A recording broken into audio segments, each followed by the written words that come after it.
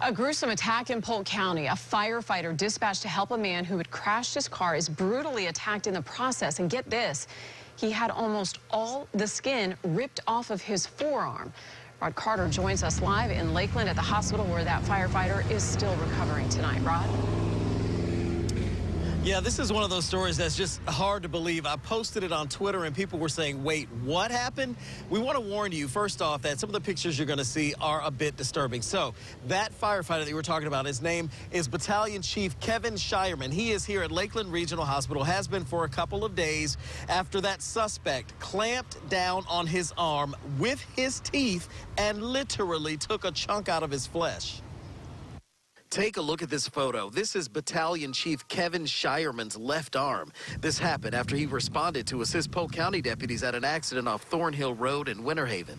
Investigators tell us 26-year-old Briansky Gardner bit Shireman's arm and took out a chunk of flesh. And literally filleted him, ripped him from his elbow to his wrist.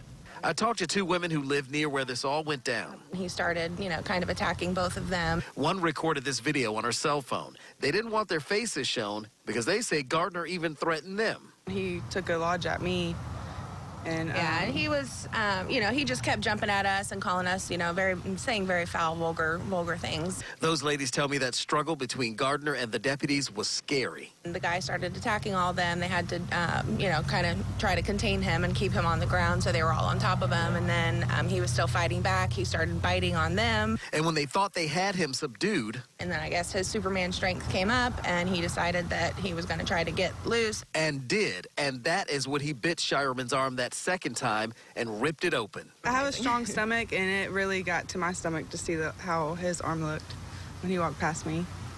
It was it was crazy. Brononsky, Denard, Gardner, and his set of very good teeth need to be locked up in the state prison for a long time.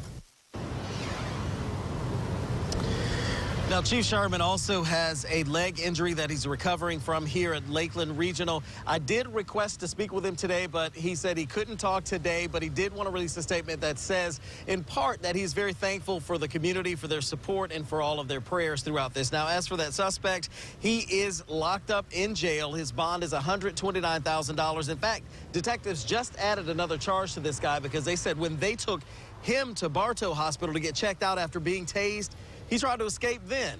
So they put an attempted escape charge on him too, Jen. I mean, good gracious, was this guy on drugs? I mean, this just sounds almost superhuman.